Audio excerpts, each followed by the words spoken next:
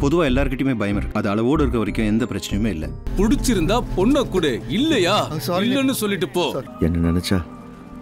எனக்கே அசிங்கமா இருக்கு. அடுத்தவன் குடும்பத்துல விளையாடணும்னு நினைக்கிற ஒவ்வொருத்தனும் அதை பார்த்து பயப்படணும். என் தங்கச்சி அப்படிப்பட்டவ இல்ல. என் வாழ்க்கை ஏன் இஷ்டம்? என்னை சுத்தி என்ன நடக்குதுன்னு எனக்கு தெரியல. யாரது? யாரது? கனவிலே வந்து போனது நீயுமே எனதானதால் மாற்றங்கள் வந்து போனது.